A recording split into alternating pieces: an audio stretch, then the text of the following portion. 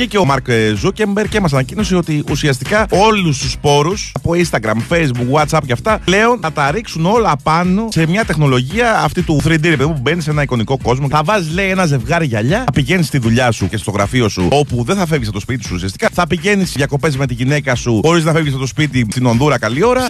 Βρε βλάκα, Μαρκ Ζούκερμπεργκ, μα είναι δυνατόν αντί να κάτσεις να εφεύρεις κάτι σοβαρό, πώς θα διπλώνονται τα ρούχα και θα σιδερώνονται μόνα τους, να σταματήσει το κέρατο, πώς θα χάνουμε κιλά τρώγοντας. Κάθισες και χάλασες φαιά ουσία και resources στο να βρεις πώς θα κάνουμε πράγματα που θέλουμε να αποφύγουμε. Δεν θέλω να πηγαίνω στη δουλειά. Δεν θέλω να βλέπω τους φίλους μου. Μου το κάνεις πιο εύκολο να δω τους φίλους μου. Μου λες να πάω διακοπές με τη γυναίκα μου σε ένα εξωτικό προορισμό. Δεν θέλω να πάω ούτε μέχρι την πάτρα.